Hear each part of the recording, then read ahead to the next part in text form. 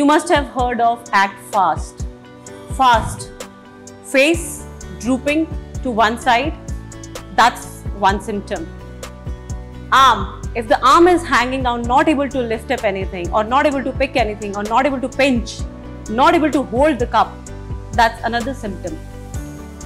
S. Speech. If there is any slurring of speech and there is you're not able to, the patient is not able to, uh, you know, speak or you're not able to understand the words, that can be the third symptom.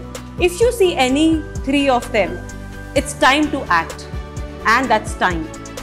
So the sooner you get to the hospital, sooner you reach to the hospital, the better will be the management.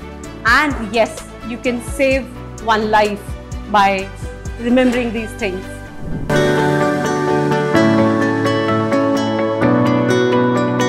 At home, you have acted fast, you have reached to the hospital. Now, the doctor will examine the patient, and the moment you reach the hospital, you will see that there is a uh, there will be medical management for the patient, and the doctor and the neurologist there will decide on that and can help in medically manage the patient. Here, if any clot, any thrombus in the brain, that within that six hours they can thrombolyze that and can you know that will be a much better condition in terms of medical management of stroke